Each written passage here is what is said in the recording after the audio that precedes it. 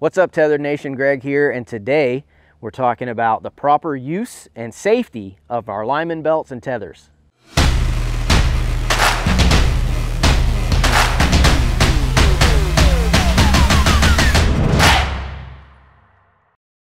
Part of what makes saddle hunting so incredibly safe is that you're tethered to the tree, you're connected to the tree the entire time, from the ground all the way up to hunting height. When you do it properly, you use your lineman belt to climb, that's the green one, and you use your tether, the brown one, when you get to hunting height.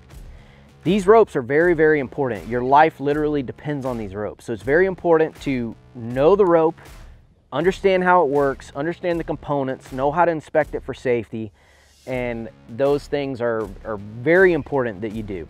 So first of all, we're gonna start with the lineman belt.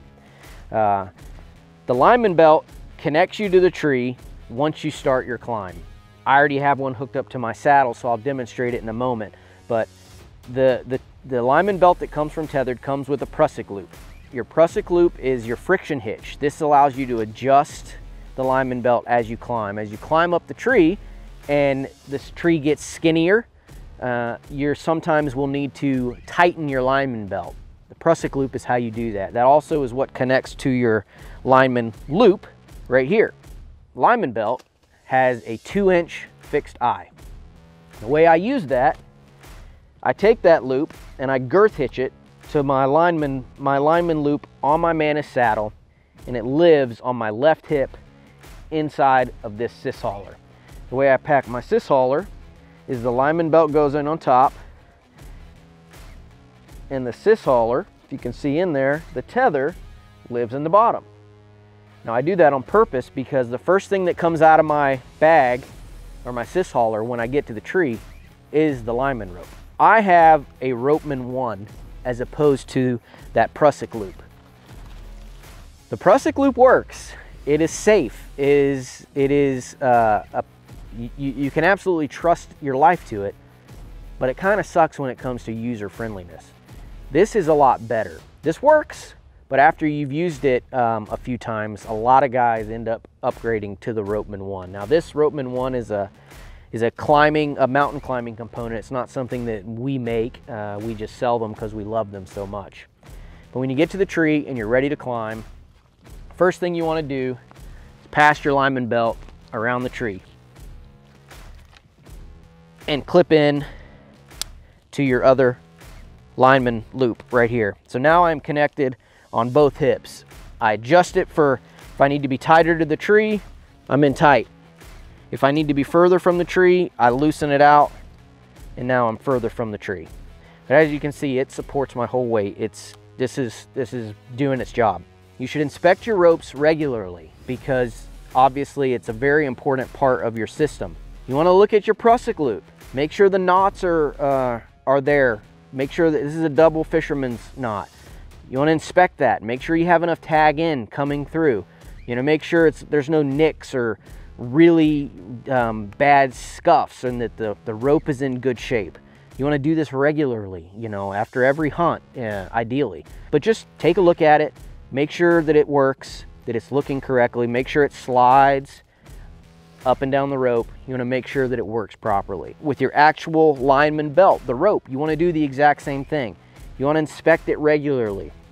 If there's any major signs of wear or cuts, nicks, really bad abrasions to the rope, you wanna get a new rope. It's just not worth it uh, to risk your life on, on uh, a faulty rope. Another important thing uh, for both the lineman belt and the tether is this stopper knot if something were to happen with your uh, with the rope and maybe you didn't have it put on correctly and this rope this prusik loop or this ropeman if it slid all the way down you want it to stop on that on that stopper knot it's very important if this wasn't there and you just had a loose tail your prusik knot could theoretically slide all the way off that would be bad when you're inspecting your rope you want to look for those things make sure your stopper knot is there make sure your prusik is in good working order and it doesn't look uh, beat up or worn out or cut or anything like that.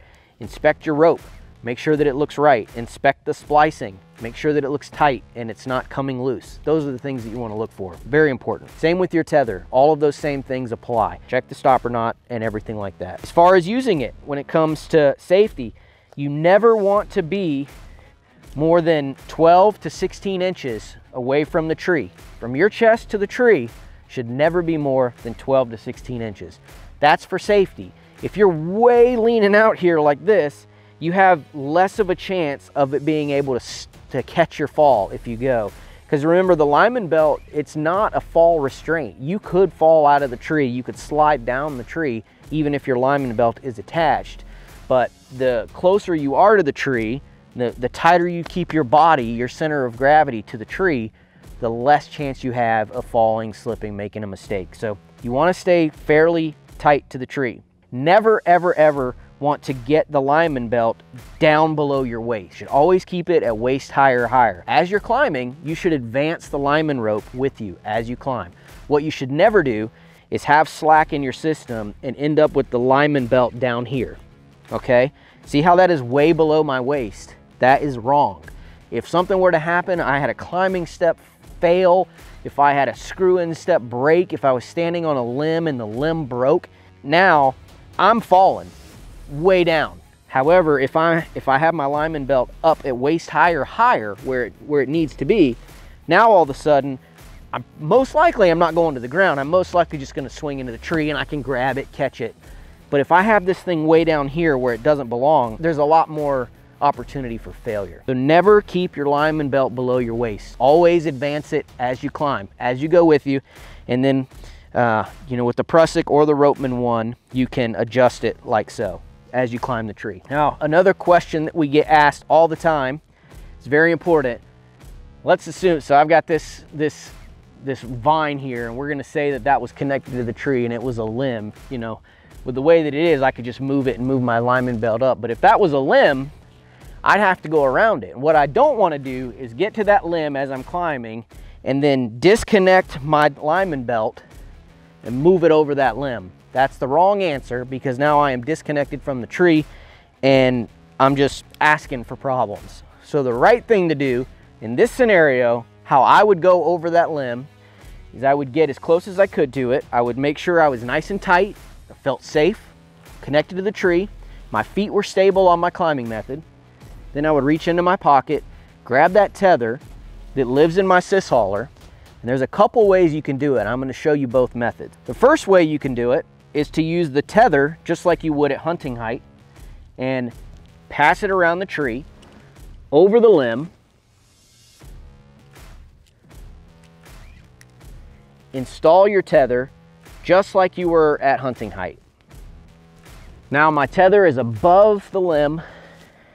Then I would come down, attach my bridge to my tether, tighten it up, Okay, so now I'm safe. So even if I, if, if I could take my lineman belt completely off because all of my weight would be supported into the saddle body by my tether. And that's exactly what I would do. I would tighten it up, make sure I'm secure, and then at this point, I'm free to go ahead and loosen my, my lineman belt, and you can see I'm completely supported now by my tether. Then at this point, you can remove your lineman belt, go around the limb.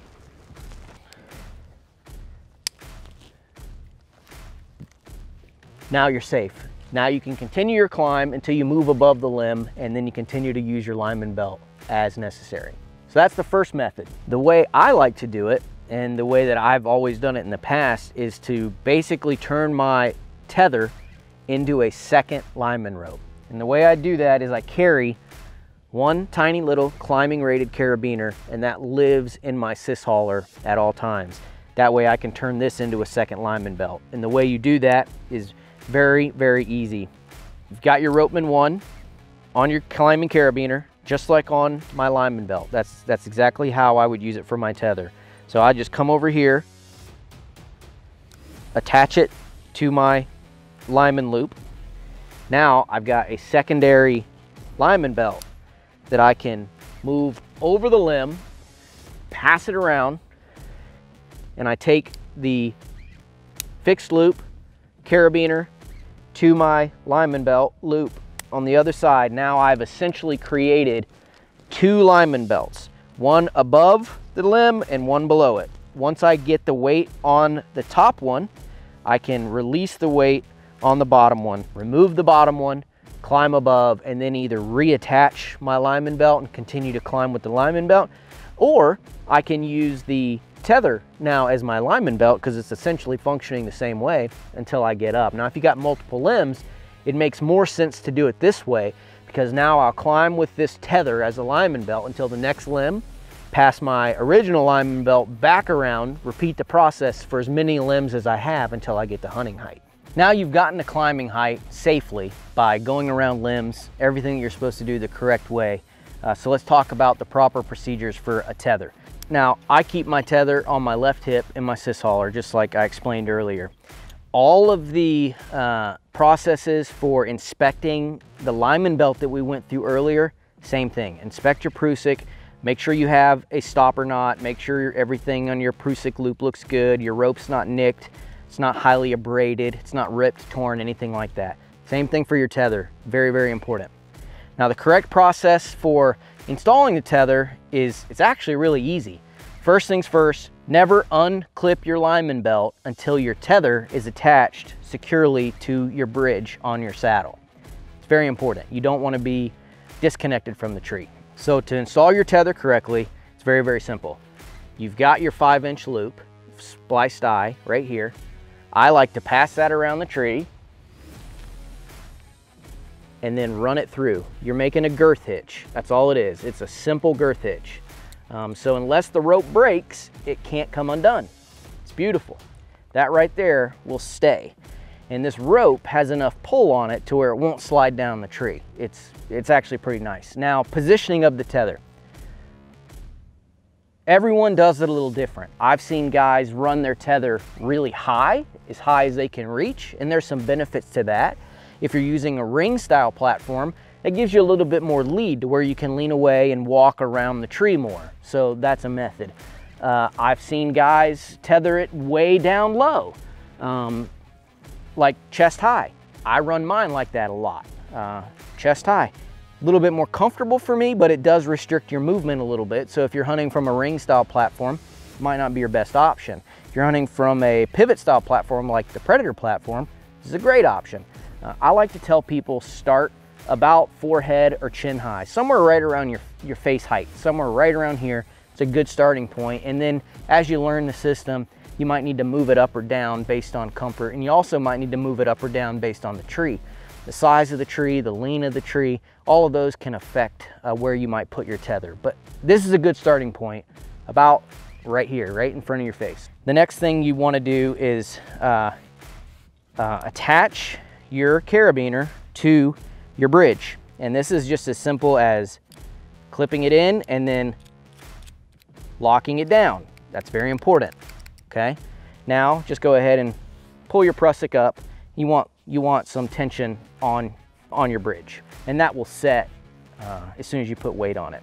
Now that I'm connected to the tree with my tether, uh, everything is connected to my bridge, I can now safely remove my lineman belt and put all my weight into my tether. So the way I like to do that is I like to go ahead and just start sitting down and getting that nice and tight, making sure that prusik is catching. See how it's catching now? So all my weight is now in that tether. Now, once I've set it and it's nice and, nice and firm, then what I'll do is I'll start loosening up my lineman belt just a little bit. So it's loose, but it's still there in case something goes wrong. Now I'm feeling, okay, everything is in my, in my tether and I'm safe. At this point, you can go ahead and remove your lineman belt, pass it around the tree, store it back in your Sys Hauler, take it off your saddle, whatever you, however you choose to store it, you can do that at that point. That's the correct way to do it. The, the key is you're always connected to the tree from the ground all the way up, even if limbs are present, because uh, you want to be safe. There's, there's no hunting scenario, there's no deer, there's no trophy, there's, there's no hunting scenario in which it makes sense to risk your life. Use the gear in the safest way possible, the way it's intended, and you'll get to go home at night to your family. And at the end of the day, that's the most important way. Hey, thanks for watching. Hopefully this helps you understand the safe and correct way to use a lineman belt and a tether. If you ever have any questions about hey, look at this damage. Is it safe? Should I be using this? Am I using it the right way? Hit us up on social media. We're on Instagram, we're on Facebook, we're on YouTube. You can send us an email, you can send us a Facebook message, an Instagram message. It doesn't matter. We want you to be safe and we want you to use your gear properly because when you use it properly, it's an efficient way to use the system. So if you have questions, reach out. We are happy to help in any way, shape, or form. Thanks for watching. Hopefully you learned something and hopefully this makes you a better saddle.